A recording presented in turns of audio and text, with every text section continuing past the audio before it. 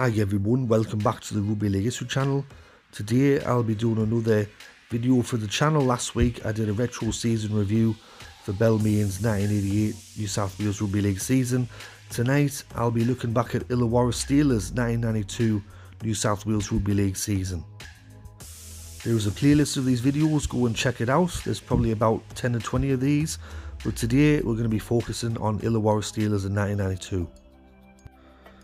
Illawarra coming into the competition in 1982, however, their first nine year in the New South Wales Rugby League was not very successful. The club had failed to make the finals in any of the seasons that they competed in, and they finished with the wooden spoon three times before 1992. However, in 1991, the club showed a bit of improvement, finishing 8th on the table and only missing the top 5 by two competition points. In 1992, the club had their best ever season, finishing third on the table. They were coached by Graham Murray. The biggest ever crowd they got was 17,469 against St George in round 9. The average home crowd for the year was just under 14,000. Ryan Girdler was the top point scorer with 122 points, and Alan McIndoe was the top try scorer with 10 tries. The 1992 season got off to the best possible start for Illawarra, with the club winning their first bit of silverware in their history. They won the 1992 Tooheys Challenge Cup final, which was the pre-season competition before the season began, and they defeated Brisbane 4 points to 2 in the final, which was played at Apex Oval in Dubbo. The club defeated Parramatta, South Sydney, and Cronulla to make the final. They were not tipped to beat Brisbane in the decider, but they did so and it served as a springboard for the rest of their season. The 92 season got off to a patchy start for Illawarra. In round 1 they had a 14-all draw with Newcastle. This was followed by a 12 points to 4 victory over Cronulla. However, in round 3 they suffered a humiliating defeat being defeated by the Wooden Spooners from the previous season, the Gold Coast Seagulls, 18 points to 8. But that's when the form started to pick up the club defeated the grand finalists from the previous season in convincing fashion, Canberra 29 points to 10. They also had good wins over Manly, Brisbane, and Western Suburbs, who back in those days were quite a competitive side. And they had a narrow loss to Penrith in round 5, who were the defending premiers from the previous year. At the midway point of the season, the club sat third on the table, and then there was a bit of a break where on the 8th of June 1992, they played against the touring Great Britain side at the Wollongong Showground, where they lost 11 points to 10 in front of 10,000 supporters.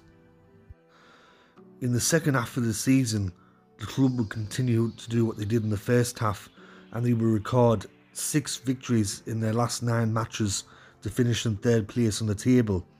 In between those victories, they recorded wins over Manly, the defending Penrith, and they also defeated a good Newcastle side, and Eastern Suburbs and Parramatta. The club's first ever finals match would be the major preliminary semi final against St George at the Sydney Football Stadium.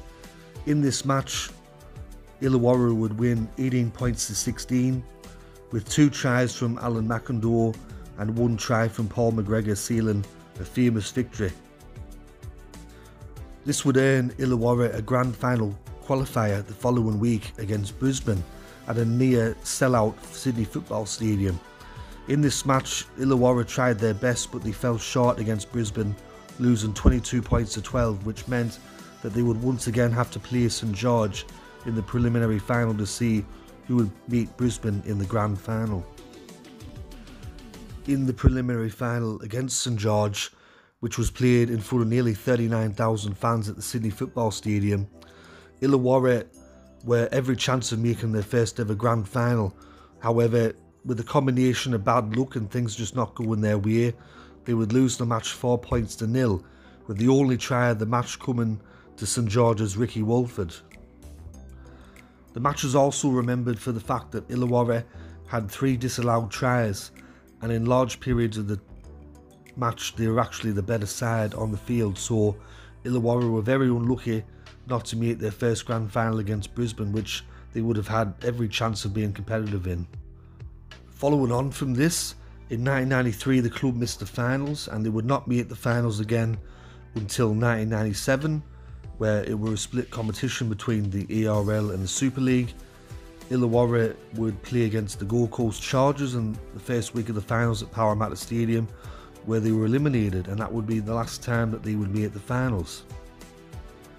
Head coach Graham Murray would depart the club at the end of the 1995 season and despite having the likes of Paul McGregor, Rod Wishart, John Simon, Shaun Timmins, Trent Barrett, the club was never able to recapture the magic that they had in the 1992 New South Wales Rugby League season. After the Super League war had concluded and the competition became known as the NRL, what we have today, there was a controversial criteria put in place which would mean that by the end of the 1999 season, 22 teams would have to become 14 teams for the 2000 NRL season. Despite having a lot of local talent and some good players, Illawarra was struggling financially and in 1998 they come in 12th. As time went on, it would be more and more clear to everyone that Illawarra would not survive the call at the end of the 99 season and would either have to merge with someone, form a joint venture or die. St George, who was safe from the criteria but also wanted to confirm their status in the 2000 NRL season, decided to form the first ever joint venture at the end of the 1998 NRL season when the NRL offered clubs over 7 million Australian dollars to form a partnership. So at the end of 1998, Illawarra ceased to exist and formed a joint venture with St George to become St George Illawarra. The Illawarra club today operate in a small capacity, with the club only fielding sides in the SG Ball and Harold Matthews teams. The Illawarra side of the joint venture no longer exists, with the Win Corporation buying out Illawarra's part of the joint venture because Illawarra could not financially support it any longer. Although St George continued to play home matches at Wollongong, I feel that there's very little recognition that the club places on the Illawarra side of the joint venture and it's mainly focused on St George. I've talked about that in previous videos but that is me review of the 1992 Illawarra Steelers season, the retro season review of that year. I hope you enjoyed this video.